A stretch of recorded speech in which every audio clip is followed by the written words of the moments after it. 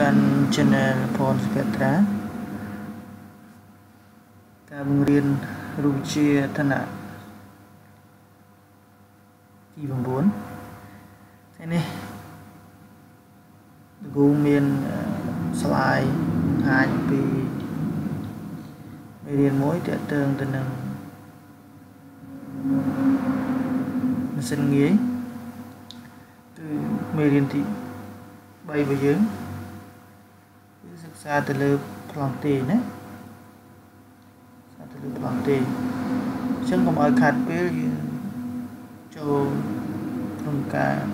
ដោះស្រាយមហាត់តើទៅនឹងប្លង់ទេទាំងអស់គ្នាបាទសូមអរគុណ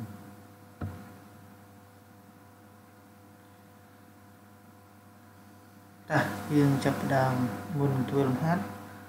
គ្រូតែងតែរំលឹក មេរៀនតេតើងទៅនឹងប្លង់ទេដើម្បីឲ្យយើងរៀនទៅធ្វើលំហាត់ប្លង់ទេទាំងអស់គ្នាណាតាចាប់ផ្ដើមរំលឹកអំពីមេរៀននៃប្លង់ទេណាការរំលឹកនេះគឺមុនទាំងអស់ទេលោកគ្រូរំលឹកតែរូបមន្តណាដែលតេតើងទៅនឹងលំហាត់តែប៉ុណ្ណោះណាចង់ឲ្យលម្អិតចូលទៅមើលវីដេអូមុនមុនគឺគូមានការបកស្រាយមេរៀនណាយើង អាចទៅចូលទៅមើលទាំងអស់គ្នាបានទី1ដែលលោកគ្រូចង់រំលឹកគឺផលមេកានិកនៃប្លង់ទីណាអញ្ចឹងដោយសារប្លង់ទីជាម៉ាស៊ីនងាយអញ្ចឹងផលមេកានិករបស់វាគឺជាផលធៀបរវាងកម្លាំងទប់ឬកម្លាំងចលករជានិច្ចណាដែលយើងធ្វើផលធៀបរវាង FE ឬ FPR នេះ បាទរវាង FE ឬ FPR នេះមើលនេះណារវាង FE ឬ FPR នេះគឺជាផលធៀបនៃកម្លាំងទប់ឬកម្លាំងចលករដែលជាយមន័យនៃផលមេកានិករបស់ម៉ាស៊ីនងាយតែដែលឡែកចំពោះអង្គទេគឺមានផលធៀបមួយយ៉ាងទៀត ដែលតេតើនឹងប្រវែងធៀបឲ្យកំកម្ពស់ណា L ធៀបទៅហាតែ FA ជាកម្លាំងទប់គិតជា Newton FE ជាកម្លាំងចលករក៏គិតជា Newton ដែល L ជាប្រវែងប្លង់ទេហើយហាជាកម្ពស់នៃប្លង់ប្លង់ទេអញ្ចឹងផលមេកានិកនៃប្លង់ទេមាន2គឺតាមកម្លាំងទប់លើកម្លាំងចលករមួយឬក៏តាមប្រវែងប្លង់ទេនៅលើកម្ពស់នៃប្លង់ទេមួយបាទ នេះជាការរំលឹកទូទៅតេតើទៅនឹងផលមេកានិកនៃប្លង់ទេណាអញ្ចឹងកុំឲ្យខាត់ពេលវេលាយូរយើងចូលទៅមើលលំហាត់របស់យើងតែម្ដង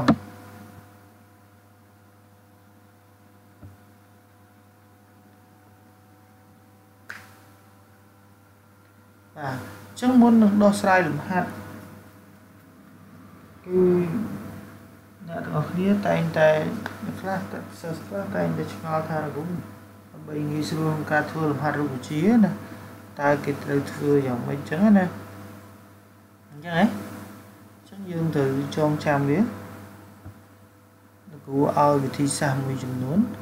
បាទដើម្បីដោះស្រាយលំហាត់រូបវិទ្យាយើងត្រូវអនុវត្តវិធី4ជំហានណា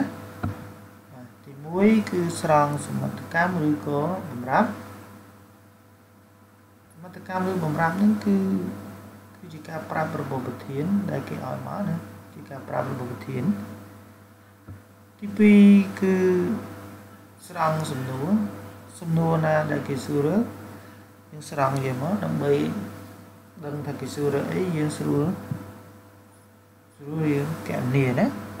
បន្ទាប់ពីស្រង់សំណួរហើយត្រូវស្វែងរករូបមន្តហើយរូបមន្តដែលស្វែងរកនោះត្រូវតាក់ទងជាមួយនឹង ចំណុច2ខាងលើនេះណាគឺបំរាប់ក៏ដូចជាសំសំពរូបមុនច្រើនណារូបជាអញ្ចឹងយើងត្រូវតែស្វែងរករូបមុនណាដែលតេតើងទៅនឹងសំណួរក៏ដូចជាបំរាប់ណាចំណុចទី4គឺយើងចំនួនលេខក៏ដូចជាបញ្ជាក់ស្នាមចុះវិធីសាស្ត្រទាំង4នេះគឺ អាចឲ្យបងអូនយកទៅអនុវត្តក្នុងការដោះស្រាយលំហាត់រូបវិទ្យាបានដោយងាយតាអញ្ចឹងប្លង់ទេមិញយើងបានរំលឹកហើយហើយវិធីដោះស្រាយលំហាត់ក៏បានដែរអញ្ចឹងសាកលបងធ្វើលំហាត់ទាំងអស់គ្នា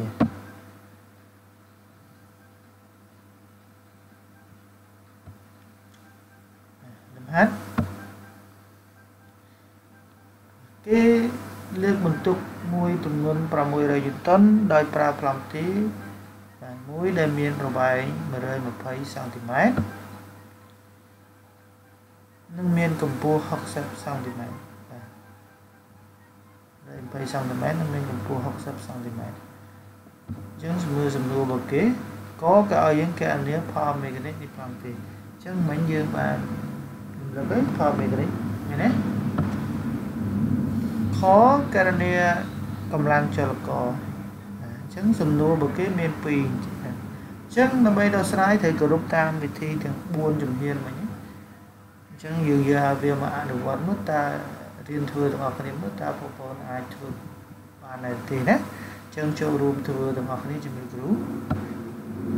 គុណបាទកគេឲ្យយើងកណនាផលមេកានិកនៃប្លង់ទេណាចឹងផលមេកានិកនៃប្លង់ទេយើងអាចប្រើប្រាស់វាទៅតាម គេណាផលមេកានិកនៃប្លង់ទេយើងអាចប្រើប្រាស់វាទៅតាម MA ស្មើ L នៅលើហើយនេះបើលោកគ្រូរើតាមវិធីសាស្ត្រហ្នឹងរើតាមរូបមន្តហ្នឹងកុំរើតាម F L លើ F F L លើ F E ដោយសារតែយើងស្គាល់អីគេណាសារតែយើងស្គាល់ L ហើយនឹងហាអញ្ចឹងនៅពេលដែលយើងស្គាល់បំរាប់ពីរនឹងហើយយើងអាចប្រើប្រាស់រូបមន្តតែម្ដងណាតែនេះយើងបាទអញ្ចឹងអ្នកស្រង់សំណួរបាទយើងស្រង់បំរាប់ខាងលើមកតែលោកគ្រូអត់បានស្រង់បំរាប់ទេគ្រូដាក់នៅក្នុងនេះណាអញ្ចឹងយើងនេះយើងអាចស្រង់ខាងលើមកហើយស្រង់សំណួរមកគេស្វែងរករូបមន្តដែលត្រូវជាមួយនឹងបំរាប់ដែលបំរាប់គេប្រាប់ L នឹងហាយើងយកតាម L នឹងហាមកណាអញ្ចឹងយើងជំនួសទៅដែល L របស់យើង120ចែកឲ្យអឺហា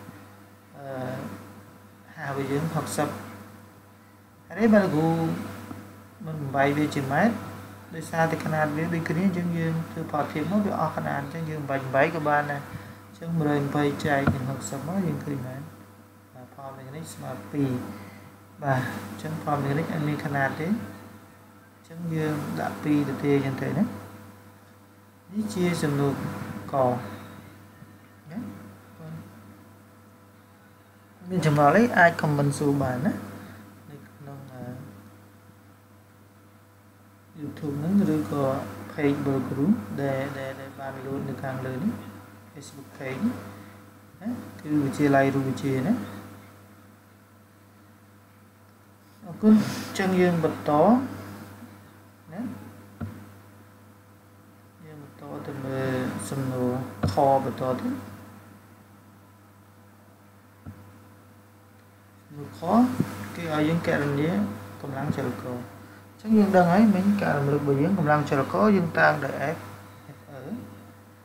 ដែលយើងអាចទាញវាបានទៅតាមផលមេកានិកហេតុអីបានគ្រូយកផលមេកានិកមកប្រើព្រោះចម្លើយផលមេកានិកយើងស្គាល់ហើយហើយបំរាប់ FR ក៏យើងស្គាល់អញ្ចឹងយើងអាចទាញរើ FE ដោយគ្រាន់តែធ្វើផលធៀបរវាង FR លើ M MA FR ចំនួន វត្ថុស្មើនឹង100យូតុន MA ដែលយើងរកឃើញនៅចម្លើយកមិញគឺ2ណាផលមេកានិកស្មើ2អញ្ចឹងយើងជំនួសមកយើងទាញបាន SO ស្មើនឹងផលធៀបរវាង600ធៀបឲ្យ2អញ្ចឹងទាញបាន FE ដូចនេះ FE ស្មើនឹង300ញូតនបាទនេះជាការកណនាមួយណាបងប្អូន អាចយកទៅរៀនធ្វើខ្លួនឯងបន្ថែមហើយអរគុណច្រើនចំពោះការតាមដានវីដេអូកុំភ្លេចជួយ Subscribe YouTube របស់លោកគ្រូផងហើយអាចចូលទៅ follow ក៏ដូចជា like page ណាដែលលោកគ្រូបានដាក់ខាងលើនេះផងសូមអរគុណសូមជម្រាបលាបាទអរគុណច្រើន